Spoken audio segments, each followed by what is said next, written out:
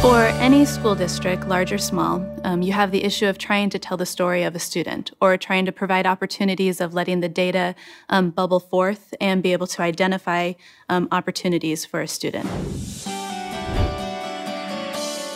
Tableau allows us, for as a school district, to be able to help tell the story um, in a data way about each and every student. It is truly reaching every teacher, every administrator in the district um, is being empowered with, with being able to go to Tableau, to use the resources that are there. And so it is, it is having a far reaching impact.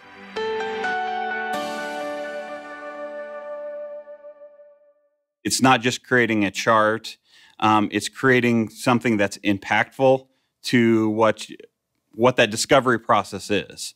Actually seeing something not just as a bar, not just as a number, but as meaningful. There's so much in the data that we don't know.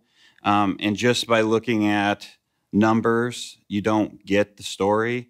Um, with the visualization, you get to dive into it, discover, um, and just really search for those aha moments um, in the data. The real story is what happens between those data points. And that's, that's really the true story with the kids, but need need a catalyst to help bring about um, the discussion.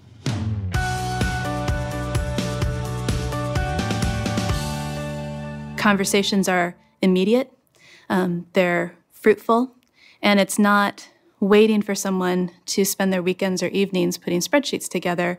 Um, instead, it's focused on spending the time to talk about the students, the interventions, the extensions, um, what their needs are. Tableau is a good investment for our district because it allows us to be able to fulfill our district strategic plan um, in a way that uh, saves time, saves money, saves resources.